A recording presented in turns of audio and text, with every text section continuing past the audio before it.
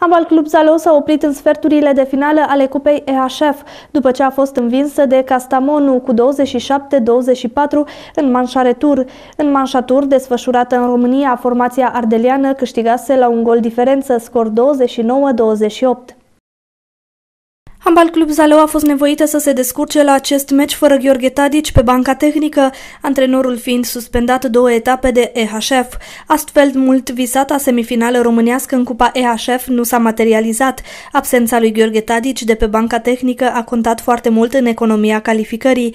Zăloancele și-au jucat însă șansele până la capăt, un plus de încredere fiind oferit și de calificarea fabuloasă a Craiovei de la Togliati.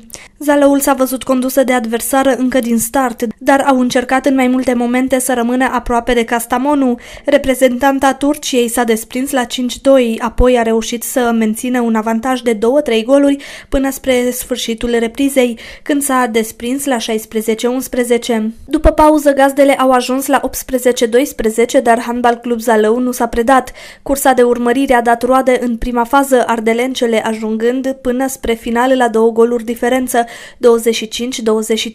Castamonu a avut însă ultimul cuvânt, marcând două goluri cu care a făcut pasul în semifinale. De la gazde Ischederoglu a reușit șapte goluri, în timp ce de la Zeloan Cerop și Tamaș au înscris fiecare câte cinci goluri.